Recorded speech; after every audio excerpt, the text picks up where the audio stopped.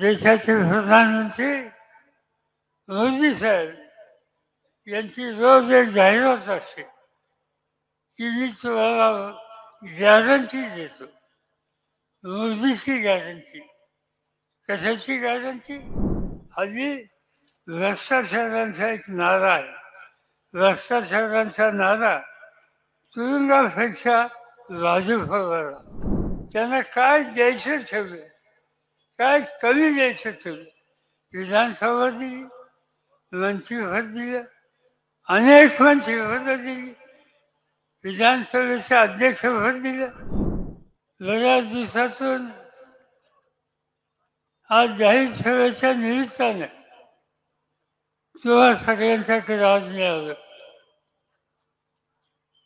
एक वेगळा काळ आहे. ज्याच्यामध्ये वेगळं चित्र आहे. खेड्याभागाच्या शेतीची इमान राखणारे आपण सगळेजण या ठिकाणी आहात आणि आज देशाच्या कानाकोपऱ्यामध्ये म्हणजे कुठेही मी गेलो तर देशाचा हा काही आईची इमान राखणारा शेतकरी वर्ग अस्वस्थ आहे संकटात आहे. मेहनत करतो घाम घालतो त्याच्या घामाची किंमत त्याच्या पदरात करत नाही अनेक पिकं घेतली जातात पण त्या पिकाची किंमत त्या शेतकऱ्याच्या पदरात करत नाही आणि खर्च अधिक लाभ उत्पन्न कमी ही स्थिती झाली कर्ज वाजायचे होतं. आणि कधी कधी ते कर्ज डोक्यात एवढं बसतं की घरातली भांडी कुंडी ही काढण्याची भूमिका सावकार किंवा येऊन बँका सुद्धा घेतात. आणि ही स्थिती बघितल्याच्या नंतर सन्मानानं जगायची इच्छा ज्या शेतकऱ्याची आहे तो कधी कधी आत्महत्याच्या रस्त्याला जातो हे चित्र आज देशामध्ये आहे. आपण रोज बघतो टेलिव्हिजन असो वर्तमानपत्र असो देशाचे प्रधानमंत्री मोदी साहेब यांची रोज एक जाहिरात असते. की मी तुम्हाला गॅरंटी देतो. मोदीची गॅरंटी कशाची गॅरंटी शेती शेतीमालाची किंमत चांगली मिळेल तुझ्या पोराला नोकरी मिळेल तुझा माल जगाच्या बाजारात सुरक्षित जाईल. त्याची किंमत चांगली तुम्हाला मिळेल ही गॅरंटी मोदी देतात. एका बाजूने यांची गॅरंटी आणि दुसऱ्या बाजूनं दर आठवड्यास नव्हे ते दर दिवसाला कुणी ना कोणतरी आत्महत्या करतोय हे चित्र या देशामध्ये बघायला मिळते. आणि म्हणून ही स्थिती किती दिवस चालून द्यायची? याच्यात बदल करायचा का जर ठरवलं तर आपण करू शकतो. मला आठवत आहे तुम्ही लोकांनी माझ्याकडे देशाच्या शेतीची जबाबदारी दहा वर्षासाठी दिली दहा वर्षांनी शेतीचा म्हणजे, मंत्री असंच आहे की शेती मंत्री म्हणून रा राष्ट्रपती भवनमध्ये शपथ घेतली आणि घरी आलं. पहिली फाईल माझ्याकडे आली आणि त्याच्यामध्ये लिहिलं होतं की या देशामध्ये म्हणजे गहू आणि तांदूळ याचा साठा नाही आहे चिंताजनक परिस्थिती आहे माल परदेशात आणावं लागेल. त्या रात्री मला झोप आली नाही. मी स्वतः शेतकरी कुटुंबाचा. तुम्हा लोकांच्या मदतीने आलेला. आणि या देशाला शेती प्रधान देश म्हणून ओळखलं जातं. आणि परदेशातनं धान्य आणायचं. निकाल घेतला. ही स्थिती बदलायची. शेतीभागाच्या किमती वाढवल्या बँकेच्या कर्जाचा व्याज दर कमी केला. थकबाकी माफ केली. आणि त्याचा परिणाम हा झाला की मी ज्या वेळेला शेती खात्याची जबाबदारी सोडली त्यावेळेला या देशाच्या तुमच्यासारख्या शेतकऱ्यांनी जगामध्ये सगळ्यात जास्त तांदूळ आम्ही शिकवतो हा इतिहास केला. दोन नंबरचा गहू शिकवतो हा इतिहास निर्माण केला. दोन नंबरची साखर ही तयार करतो हा इतिहास तयार केला. आज त्याची गरज आहे. पण मोदी साहेबांना या सगळ्या गोष्टीच्या संबंधीची आस्था नाही त्यांना आस्था कशाचं लक्ष होऊ द्या. विरोधकांना तुरुंगात टाकलं मोठ्या मोठ्या लोकांना झारखंड नावाचं राज्य त्या झारखंड आदिवासींचे राज्य त्या आदिवासींच्या राज्यामध्ये मुख्यमंत्री काहीतरी खोटा खर्चा भरला आणि मुख्यमंत्र्याला आज तुरुंगामध्ये टाकलं. दिल्लीचं राज्य केजरीवाल नावाचा मुख्यमंत्री अतिशय उत्तम राज्य चालू त्याचे सरकारी राज्य चालत प्रधानमंत्र्यांना आवडत नाही. त्यांच्या मनासारखं काम करत नाही. परिणाम काय? त्याच्या दोन तीन मंत्र्यांना सुरू टाकलं आणि मुख्यमंत्र्यांना सात नोटिसेस या पाठवल्या. आज उद्या कदाचित त्यांना सुद्धा अटक केली जाईल. हे काय शिक्षण मुख्यमंत्र्यांना अटक करायचं. महाराष्ट्राचे गृहमंत्री अनिल देशमुख यांना अटक केली कशासाठी अटक केली त्यांचा आरोप होता की त्यांनी शिक्षण संस्थेमध्ये शंभर कोटी रुपये घेतले.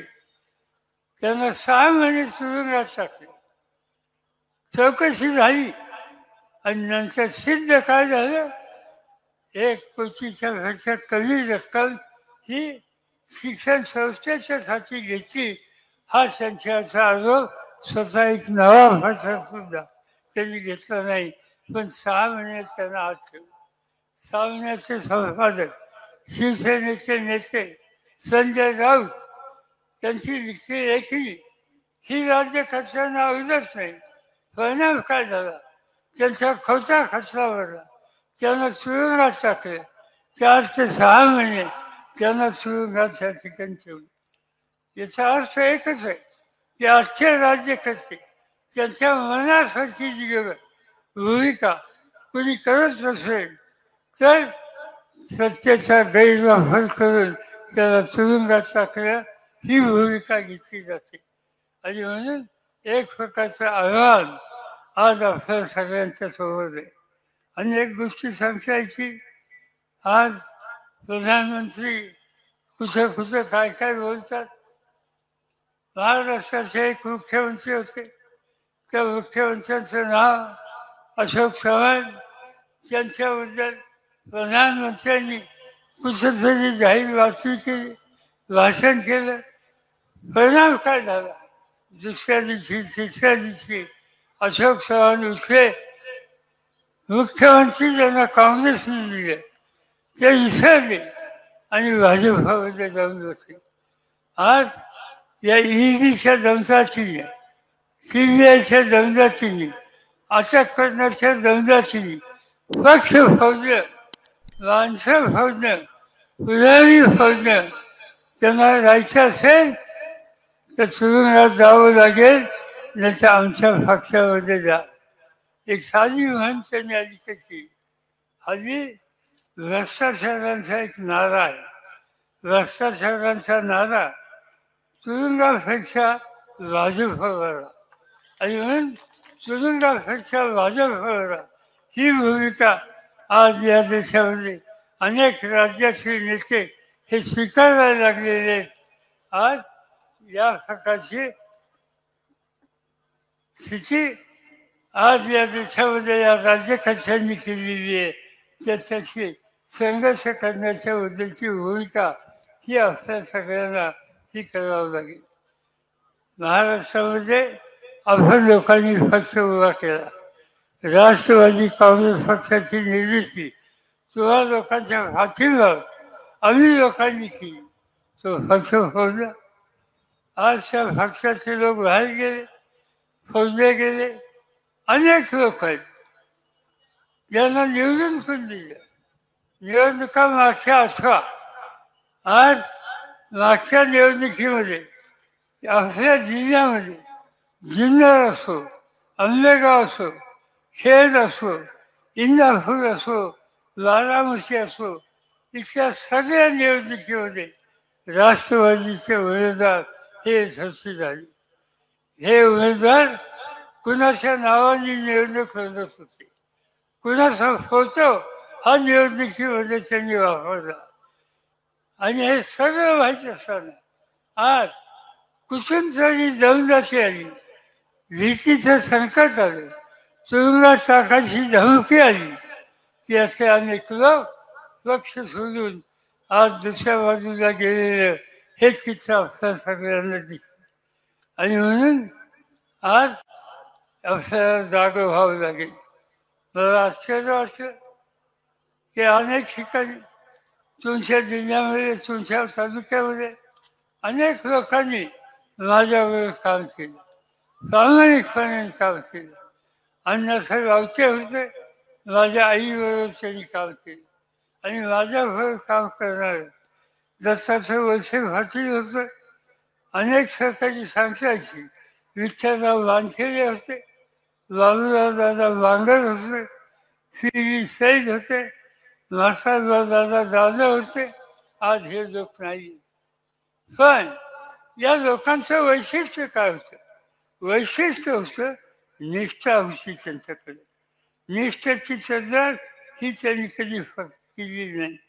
अनेक गोष्टी सांगतायची एका बाजूनं या तालुक्यानं निष्ठा देणारे दत्तू भाषांच्यासाठी आमचे सरकारने आणले जन्मभर साथ दिली आणि आज काय ज्यांच्या हातामध्ये सत्ता आहे दत्तूभाषांचा वारसा आहे त्यांनी काय केलं?